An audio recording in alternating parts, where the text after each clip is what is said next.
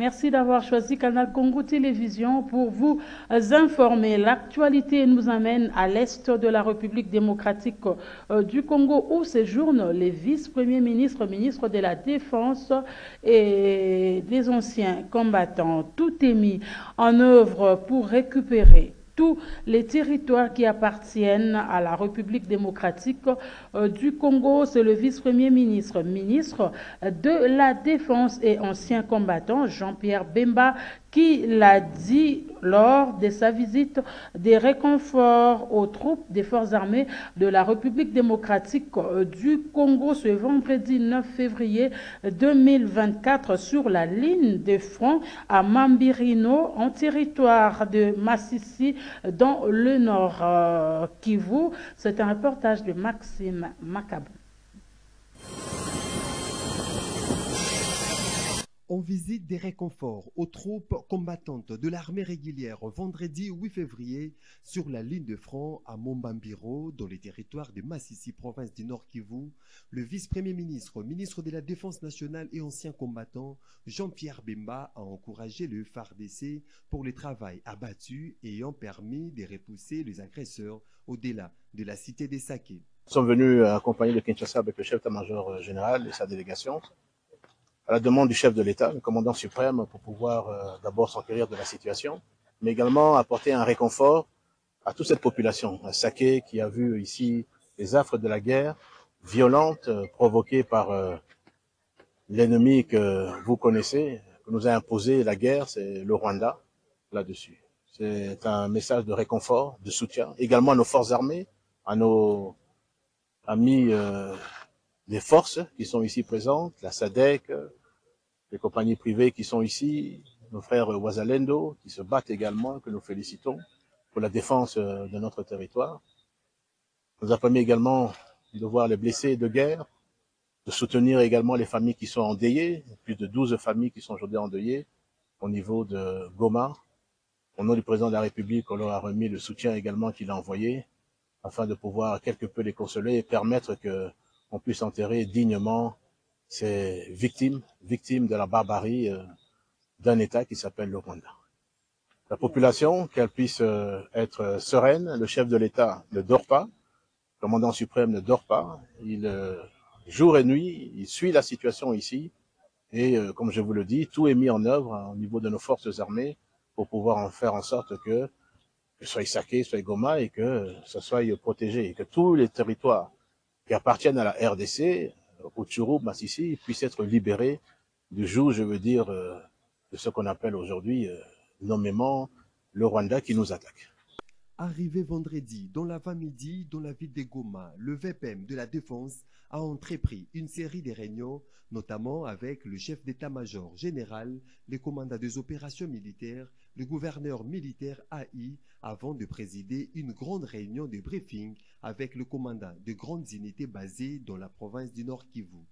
Juste après, Jean-Pierre Bemba a présidé une autre réunion de sécurité au niveau du gouvernement, réunion à laquelle des représentants des douze familles endeuillées lors des dernières attaques rwandaises sous couvert de M23 à Saké et dans d'autres localités environnantes. Bien avant, il s'était rendu au quartier général de la mission des Nations Unies pour la stabilité au Congo MONUSCO, où il avait également eu une séance de travail.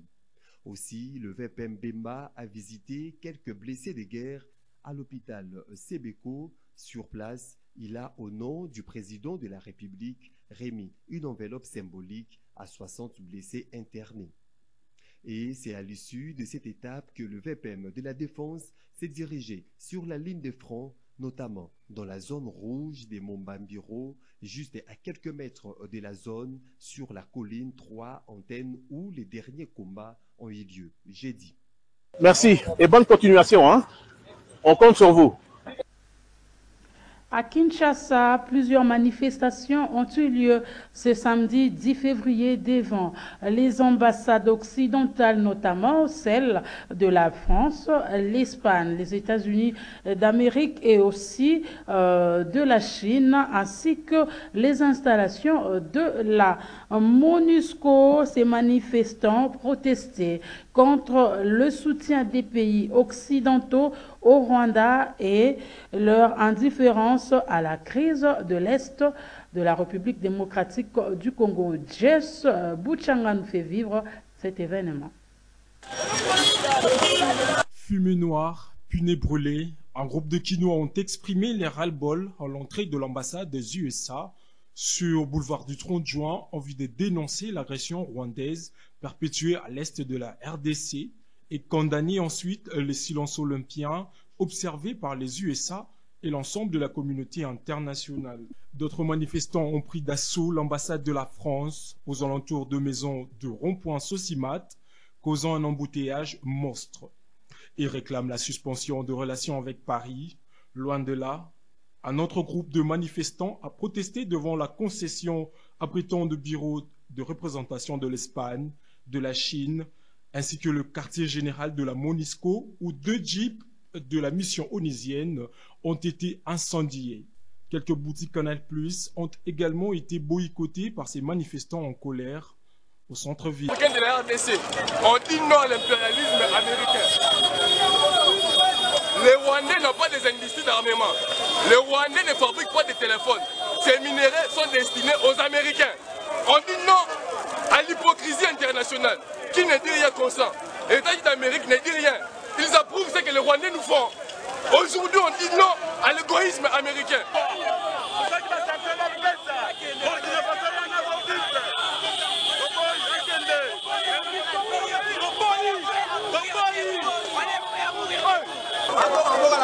Ces manifestations sont une manière pour eux d'exprimer leur solidarité à la population de l'Est du pays. Ça fait plusieurs années. On a tué nos Congolais, nos, nos compatriotes. C'est pour cela qu'on ne pouvait pas rester. On est venu manifester devant l'ambassade la, des, des États-Unis d'Amérique. Ils doivent dégager dans 48 heures. Ils doivent dégager Halimé.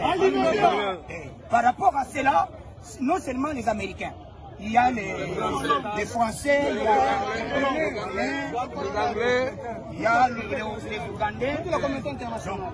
Par rapport à ce qui se passe, on a tué plusieurs Congolais. Comment nous, ici à Kinshasa, on ne pouvait, on ne pouvait pas manifester? C'est pourquoi on a commencé à manifester. Et le lundi, on sera, on là pour encore manifester. S'ils n'agissent pas, ça sera veut dire nous allons nous prendre toujours en charge. Notez que ces manifestations promettent de continuer jusqu'à obtenir gain de cause. Et en réaction justement de cette crise sécuritaire à l'est de la République démocratique du Congo, Norbert Yamba Yamba soulève deux vecteurs à la base de cette situation, notamment la convoitise de nos richesses naturelles et la convergence de terrain. Il appelle à des solutions concrètes pour la résolution de cette crise. Norbert Yamba Yamba l'a dit au micro de Dedi Mujinga. Suivez. Ils sont fondamentalement complexes et on ne peut pas donner des solutions simples à des problèmes complexes. Euh, certainement que le focus est orienté vers le Rwanda, mais je considère que la situation à l'Est euh, repose sur des motivations fondamentales. Il y a la question de la convoitise de nos richesses naturelles, parce que vous savez, le Congo a un tiers des richesses africaines. Euh, le Congo, c'est en Afrique centrale. Le Congo regorge euh, de ressources stratégiques qui sont convoitées par le monde entier aujourd'hui, parce que la perspective de la révolution numérique, c'est d'avoir des voitures électriques. Il n'y a que le Congo qui a les lithium, le Congo a le cobalt, le Congo a le coltan. À proportion de 80%, le, le, cobalt, 65%. Et dit le Congo a également le rhodium. Vous savez que l'on fabrique, euh, c'est pas les fusées, euh, c'est avec euh, le qui stabilise véritablement ces instruments. Et le coût d'investissement d'un fusil, c'est de 14 milliards. Alors il faut être au Congo et probablement, spécialement dans la région de Rutshuru, Massissi, Walikale, etc., dans l'est de notre pays. Et donc, euh, ce n'est pas les Rwandais qui ont des moyens de combattre. Holistique, on n'aura pas de solution. La guerre va continuer. Parce que vous savez qu'aujourd'hui, la guerre est la plus grande industrie qui existe au monde. C'est la guerre qui donne plus d'argent que d'autres investissements. Les Américains ont fait, sont indépendants près de 244 ans. Et ils ont fait la guerre pendant 241 ans. Ils sont restés la première puissance militaire, la première puissance culturelle, la première puissance économique. Vous avez suivi la guerre de, l'Ukraine. Euh, les Américains ont investi 110 milliards de dollars. Les organisateurs, mais il faut appeler des hommes et des femmes qui viennent intervenir, mais qui nous amènent véritablement des propositions agissantes.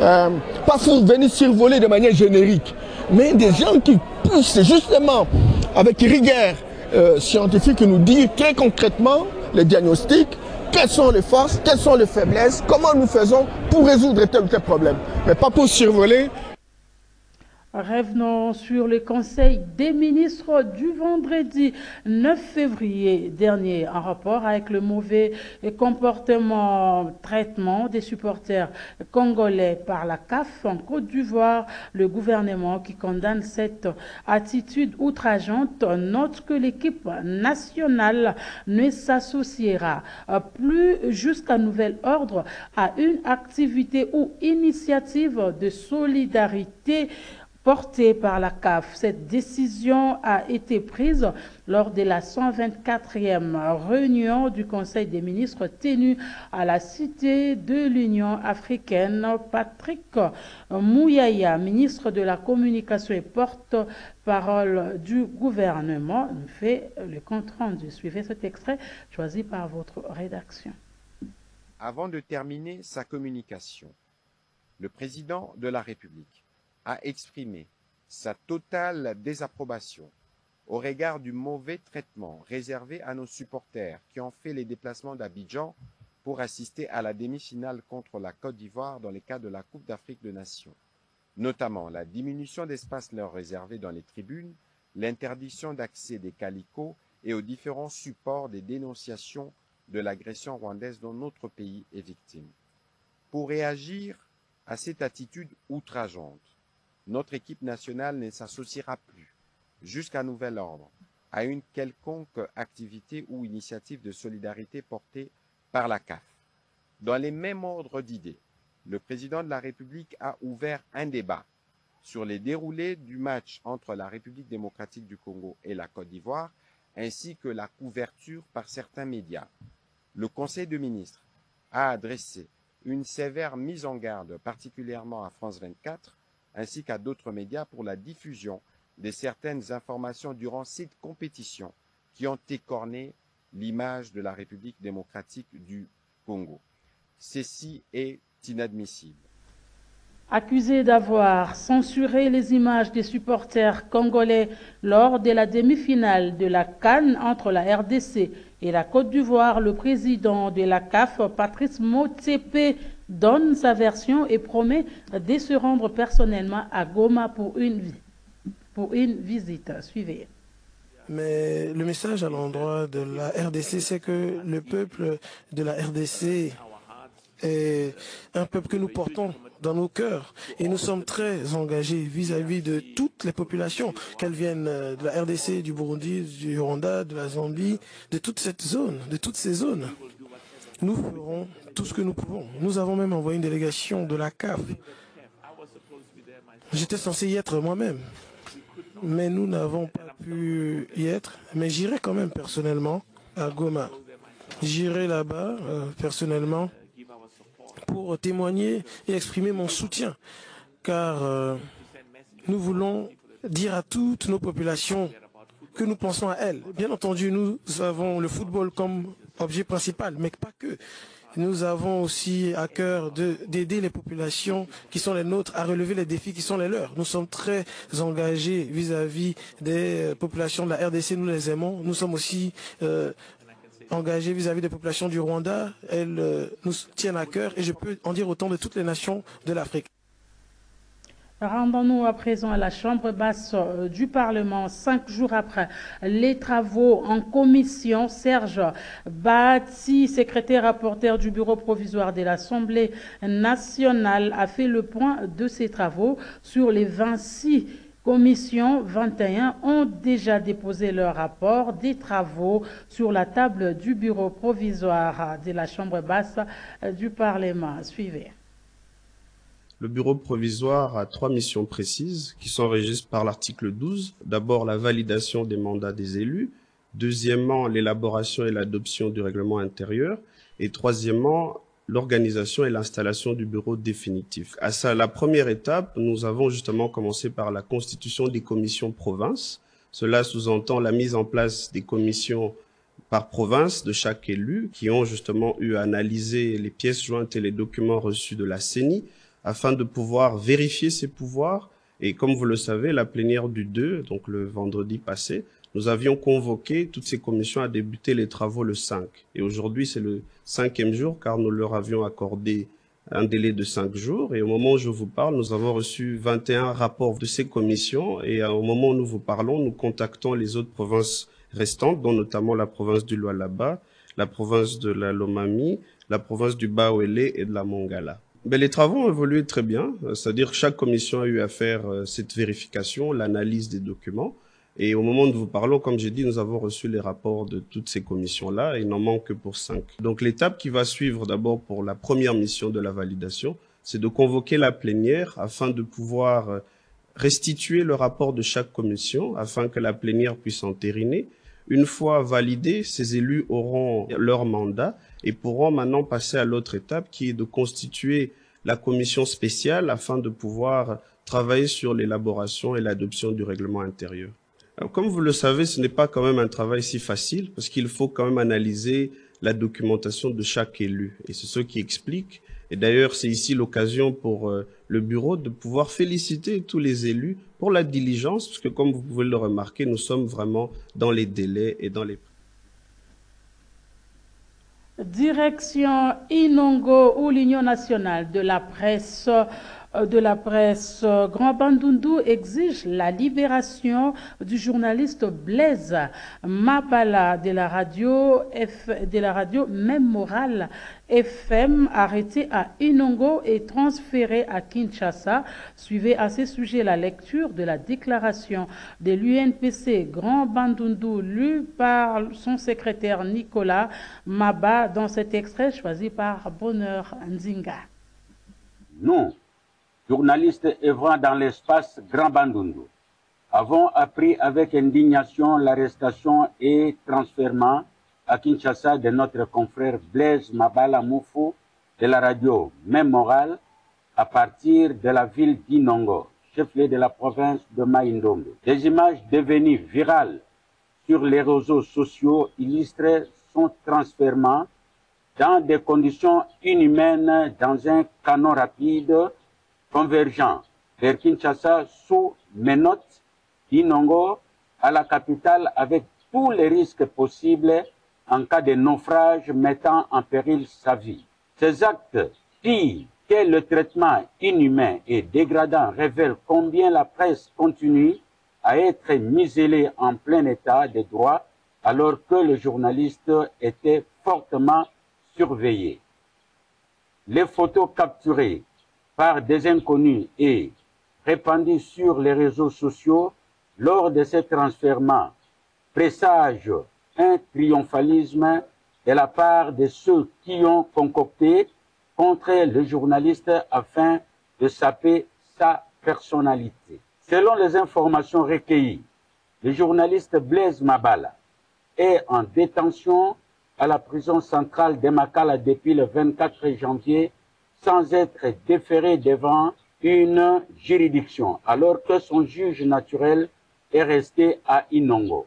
Selon les sources concordantes, le dossier de Blaise Mabala était pendant devant le tribunal de grande instance d'Inongo. Il a été envoyé en communication à la Cour de cassation afin de permettre aux juges de les entendre avec un des accusés qui est le vice-gouverneur de Maïndomé pour des allégations tenues contre son titulaire sur les antennes de la radio précitée. À ces jours, tel est notre regret de constater que le vice-gouverneur accusé par son titulaire devant la Cour de cassation circule en homme livrés sur les rues de Kinshasa, ces actes présagent un plan machiavélique et un coup monté tendant à nuire la vie des journalistes alors que la personne recherchée est en liberté. Parlons à présent de cet échange des détenus entre l'armée congolaise et ougandaise. Au total, 14 pêcheurs congolais, 67 moteurs et 7 pirogues ont été libérés ce vendredi au village de Katwe en Ouganda. En échange, la force navale congolaise a remis 14 moteurs et libéré 4 pêcheurs ougandais arrêtés sur le lac Édouard. Autre détail, dans cet élément que nous propose notre correspondant Joël Kamabou.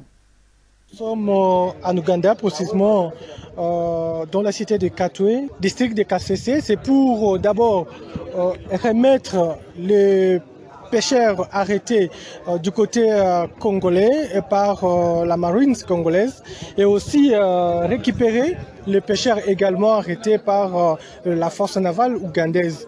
Nous avons procédé par une cérémonie présentée, présidée par l'administrateur du territoire des districts des, des, KCC, également avec son homologue du territoire des Béni, le colonel Euta Eunga.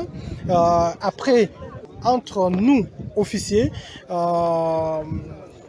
nous sommes retirés pour d'abord expliquer, euh, échanger et avoir l'idée de tout ce qui se passe également sur les lacs Édouard entre le pêcheur congolais et les deux forces qui font des patrouilles sur euh, ces, ces, ces, lacs qui, nous, qui constituent notre frontière avec, entre les deux pays.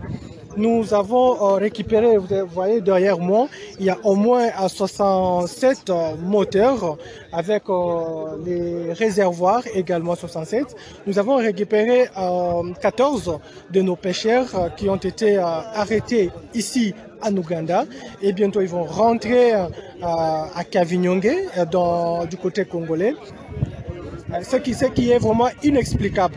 Et aussi, ils ne respectent pas euh, les, règlements euh, qui, euh, en fait, de pêche sur les lacs Édouard. Ils utilisent le filet prohibé. Et ce qui fait que les petits poissons qui sont protégés ici, du côté Ouganda, se voient violés ou bien pêchés par les pêcheurs congolais. En fait, le seul message, c'est que euh, nous devons être disciplinés. Nous sommes voisins, bien sûr. Nous avons beaucoup à partager entre les deux pays. Ce n'est pas à cause de poissons que nous allons encore déclarer la guerre entre les deux pays. Nous devons respecter les, lois. Nous devons également respecter les limites de, de, chaque pays. Nous, sommes des frères, nous sommes des voisins, nous sommes obligés euh, de vivre ensemble, mais dans le respect des lois. Célébration ce 10 février de la journée mondiale de la SAP, une journée créée à l'initiative du sapeur modéliste congolais Adrien Mombele dit Servos Niarkos Lengache, décédé depuis 1995 à Paris. À Kinshasa, les sapeurs congolais se sont rendus à sa tombe au cimetière de la Gombe. Dedi Mujinga et John Mukadi y étaient pour le compte de votre chaîne.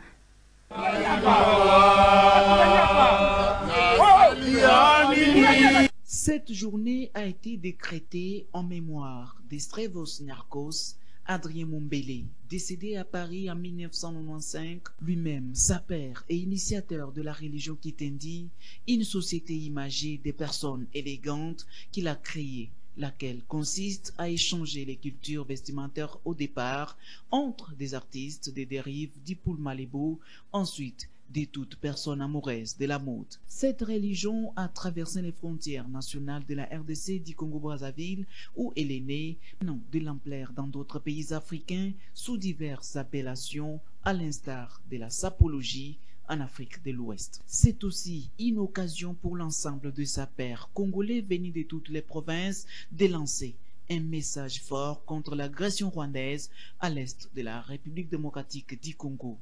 Pour commémorer cette journée, ils se sont rendus au cimetière de la Gombe sur la tombe d'Adrien Mombele Servos Niakos, icône de la SAP dans les pays.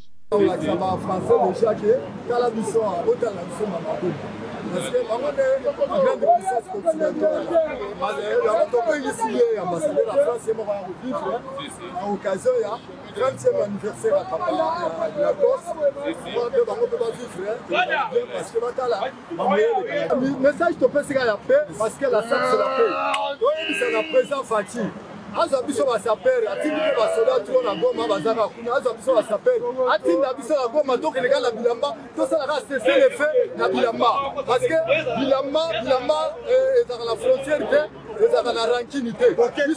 le makolo le message que nous passerons à toute la communauté internationale c'est juste que non on, est, on, en a marre. On en a marre de la guerre de l'Est, on en a marre des actes, des atrocités, on en a marre de la génocide à l'Est de notre pays. Nous voulons la paix. Et nous, ne déclarons rien d'autre que la paix. Et vous voyez comment est-ce que nos larmes se sont transformées en graines, parce que ça fait plus de trois décennies que la guerre ne cesse à l'Est du pays. On n'en a pas fini avec les léopards de la République démocratique euh, du Congo qui affronteront demain, samedi, di, samedi, sur le coup de 18h, les Bafana Bafana de l'Afrique du Sud. Les deux demi-finalistes malheureux vont se disputer la troisième place de la Cannes 2024. Suivons les Quinois interrogés à ce sujet. On peut dire que on doit quand même dire quand même un bravo à nos joueurs, à nos poulains, à nos fauves. Euh, par rapport aux efforts qu'ils ont fournis par rapport à cette compétition, c'était vraiment l'inattendu. Que on savait que, comme l'entraîneur disait, comme notre technicien disait, que lui s'est apprêté pour le quart de finale, mais, mais là, que l'équipe a, a, quand même pu avancer jusqu'au niveau de, la demi-finale. Mais, euh, chose qui reste qu'on peut demander pour le match de demain, qu'il fasse un effort de, nous faire quand même plaisir, de porter quand même la médaille de bronze. Cela, ça sera quand même quelque chose de bon. De, bon.